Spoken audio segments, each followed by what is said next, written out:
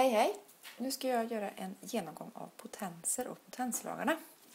Om jag har flera stycken tal som jag ska multiplicera varandra och alla de är lika så kan jag skriva det på ett kortare sätt, nämligen 2 upphöjt till 5 eftersom det är fem stycken tvåor. Eh, det kallas då en potens om jag använder detta. Eh, och i det här fallet så kallas då femman för en exponent och tvåan kallar vi för, eller heter, bas. Jag ska nu visa lite olika sätt som man kan räkna med detta på. Ehm, jag börjar med det här. 2 upphöjt till 3 multiplicerat med 2 upphöjt till 4. Om jag tar och skriver ut detta, att jag tar bort eh, potensen, då blir det här Två gånger två gånger två, Så tre gånger multiplicerar vi dem. Och det ska multipliceras med två fyra gånger.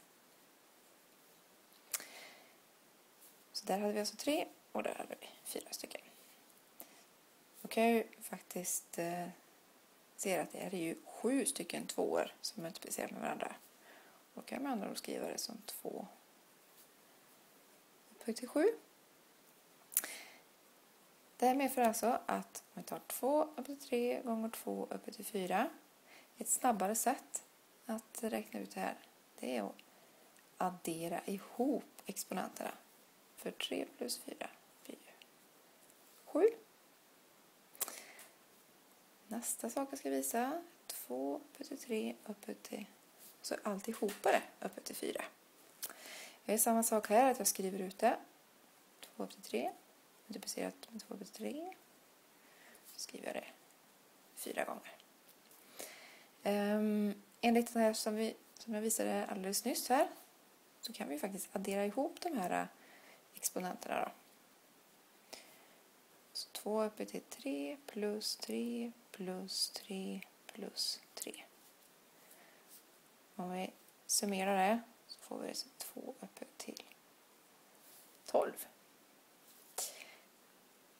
Det här medför då att man skulle kunna skriva så här på ett snabbare sätt. 2 upphöjt till 3 och alltihopa upphöjt till 4.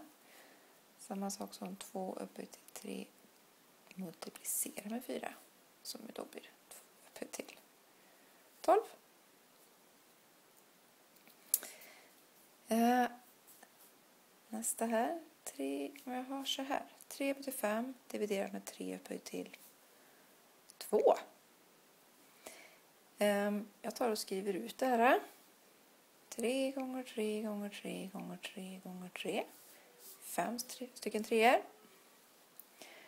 Och sen 3 gånger 3 två gånger. Nu kan jag förkorta här. Där har jag 3 och där har jag 3.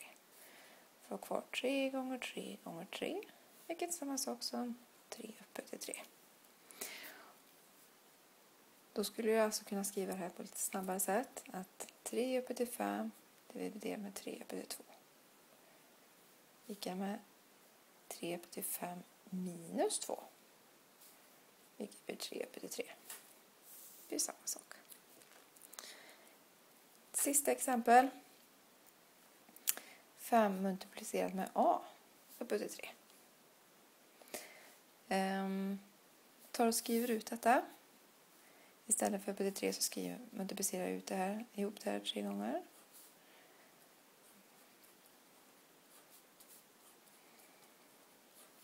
Så. Eh, nu kan jag faktiskt skriva om det här på ett annat sätt. Jag har ju fem där, fem där, fem där. Det spelar ingen roll vilken ordning jag skriver de här Det blir ju samma sak ändå.